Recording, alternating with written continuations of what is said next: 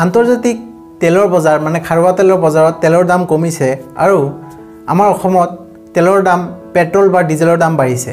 কিয়? আহক এই ভিডিঅ'ৰ পৰা জানি লওক। নমস্কাৰ মই শিৱলি আপোনালোক সকলোকে মোৰ ইউটিউব চেনেল জ্ঞান আহৰণলৈ স্বাগতম জনাইছোঁ।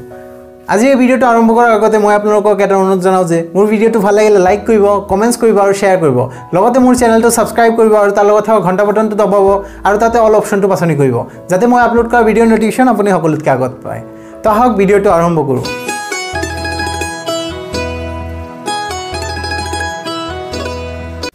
আন্তৰ্জাতিক তেলৰ বজাৰত দুটা বেঞ্চমাৰ্কে তেল বিক্ৰী কৰে। মূলতে দুটা বেঞ্চমাৰ্কে তেল বিক্ৰী কৰে। এটা হ'ল ব্ৰ্যান্ড আৰু এটা হ'ল W T I W T আইৰ ফুল ফৰ্ম হ'ল west Texas west Texas intermediate যিদৰে সোণৰ ক্ষেত্ৰতো দুটা বেঞ্চমাৰ্ক থাকে টুৱেণ্টি টু কেৰেট আৰু টুৱেণ্টি ফ'ৰ কেৰেট গ'ল্ড ঠিক তেনেদৰে খাৰুৱা তেলৰ ক্ষেত্ৰতো বেঞ্চমাৰ্ক থাকে।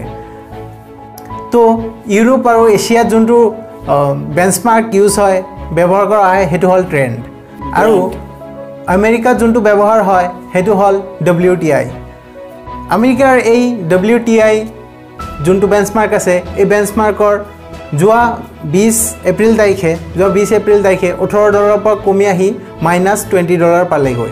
এইটো কিয় পালে? সেইটোৰ কাৰণে আপুনি জানিব লাগিব তেলৰ বিজনেছটোৰ বিষয়ে। তেলৰ দামসমূহ সদায় ডিপেণ্ড কৰে ফিউচাৰ মাৰ্কেটৰ ওপৰত। মানে এমাহ দুমাহৰ পাছত যি কিনা বেচা হ'ব সেইখিনি কিনা বেচাত দুমাহমান আগতে সেইটোৰ আহ, দামখিনি হৈ যায়। আমেৰিকাত দুই ধৰণৰ গ্ৰাহকে তেল কিনা বেচা কৰে। প্ৰথমতে হ'ল এটা দল যিসকলে প্ৰকৃত অৰ্থত তেলখিনি কিনা বেচা কৰে। আৰু এটা দল হ'ল সেইটো আপোনাৰ মুনাফাৰ কাৰণে যেতিয়া তেলৰ দাম কম বেছি হৈ থাকে তেতিয়া সিহঁতে তাৰ পৰা মুনাফা ইনকাম কৰে। মানে মানে ব্ৰকাৰৰ বুলি ধৰিব পাৰে ব্ৰকাৰৰ কাম কৰে তেনেকৈ ইনকাম কৰে। এই দুই ধৰণৰ মানুহে আমেৰিকাত খাৰুৱা তেলসমূহ কিনে। কিন্তু এপ্ৰিল মাহত অহা মাহৰ কাৰণে যিহেতু তেল কিনিব লাগিব এই দুই ধৰণৰ পাৰ্টীয়ে কোনো ধৰণৰ তেল কিনিব বিচৰা নাই। যাৰ ফলত তেল প্ৰডাকশ্যন কৰা কোম্পানীসমূহে তেলৰ দাম কমাই কিনে এইটো মাইনাছত লৈ গৈছে। এতিয়া আপোনালোকে বহুতে হয়তো সুধিব মোক বা বহুতে ভাবিব বহুতৰ মনত প্ৰশ্ন আহিব যে তেলৰ দাম জিৰ' হ'ব পাৰে কিন্তু মাইনাছত কেনেকৈ? তো এইটোৰ মূলতে হ'ল ক'ভিড নাইণ্টিন মানে কৰোণা ভাইৰাছ কৰোণা ভাইৰাছ সমগ্ৰ বিশ্বত বিয়পি পৰাৰ লগে লগে সকলোতে লকডাউন চলি আছে।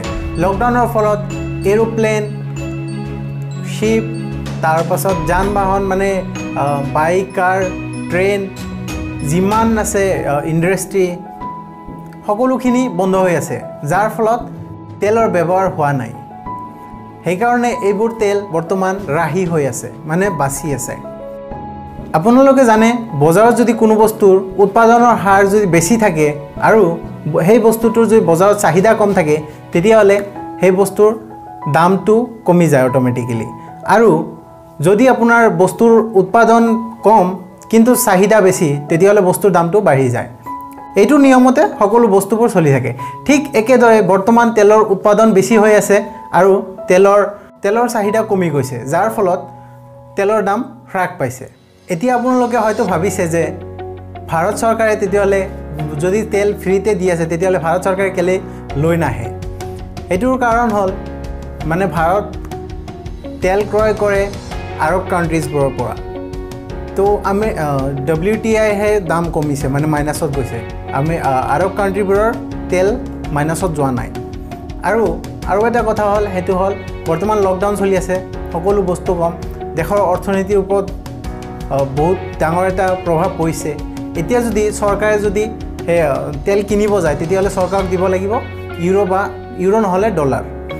তো এই ইউৰো নহ'লে ডলাৰ দিব গ'লে চৰকাৰৰ হাতত আন্তৰ্জাতিক টকা মানে বাহিৰৰ দেশৰ টকা কমি যাব। কাৰণ ভাৰতৰ পৰা এতিয়া ভাৰতৰ যিবোৰ বস্তু এক্স মানে এক্সপৰ্ট কৰে ভাৰতে সেইখিনি বস্তু ভাৰততে ৰখি আছে। যাৰ ফলত বেলেগ দেশৰ পৰা ভাৰতত ডলাৰ বা ইউৰো অহা নাই। তো সেইকাৰণে ভাৰতে এতিয়া তেল কিনিব নোৱাৰে। আৰু যদি ভাৰতে আমেৰিকাৰ পৰা তেল কিনিব যায় তেতিয়াহ'লে তাৰ পৰা আনিব লগা খৰচ বৰ্তমান আৰৱ কাণ্ট্ৰিবোৰতকৈ যিমান আৰৱ কাণ্ট্ৰিৰ পৰা আনি আছে যিমানখিনি খৰচ লাগি আছে তাতকৈ বহুত বেছি যাব। এতিয়া আহিছোঁ অসমত কিয় তেলৰ দাম বঢ়ালে? অসমত তেলৰ দাম বঢ়োৱাৰ মূল কাৰণ হ'ল ভাৰতবৰ্ষৰ প্ৰায় টুৱেল্ভ পাৰ্চেণ্ট তেল উৎপাদন কৰে আমাৰ অসমে। আমাৰ অসমৰ পৰা বাৰ পাৰ্চেণ্ট তেল উৎপাদন কৰে। তো এই বাৰ পাৰ্চেণ্টৰ ওপৰত পোৱা চৰকাৰে ৰয়েলটি বহুত টকা ৰয়েলটি পায়। এই বহুত টকাৰ পৰা এতিয়া যিহেতু আন্তৰ্জাতিক মাৰ্কেটত তেলৰ ভেলু কমিছে যাৰ ফলত অসমৰ তেলৰ দামো কমিছে। এইটো কমাৰ ফলতে চৰকাৰৰ হাতত টকাৰ পৰিমাণ কমি গৈছে। যাৰ ফলত চৰকাৰে এইটো টেক্স ফাই পাঁচ টকাকৈ তেলৰ দাম ভৰাইছে এইটো বঢ়াইছে যাতে তেলৰ দাম ৰয়েলটি কমিছে আৰু টেক্স বঢ়াইছে যাতে এইটো ইকুৱেল থাকে বা এইটো ষ্টেবল মেইনটেইন কৰিব পাৰে চৰকাৰে। তেলৰ দাম বঢ়োৱাৰ লগে লগে সকলো বস্তুৰ দাম বাঢ়িব। এতিয়া যিহেতু মানুহৰ হাতত টকা নাই আৰু যিহেতুকে অৰ্থনীতিকৰ অৰ্থনীতিৰ ওপৰত বহুত ডাঙৰ এটা প্ৰভাৱ পৰিছে এই ক্ষেত্ৰত এইটো ভাল সিদ্ধান্ত হৈছে নে বেয়া সিদ্ধান্ত হৈছে এইটো সময়ে ক'ব। আজিৰ এই ভিডিঅ'টো ইমানখিনিয়ে ৰাখিছোঁ। আপোনালোকৰ যদি ভিডিঅ'টো ভাল লাগি থাকে তেতিয়াহ'লে ভিডিঅ'টো লাইক কৰিব আৰু শ্বেয়াৰ কৰিব। ধন্যবাদ।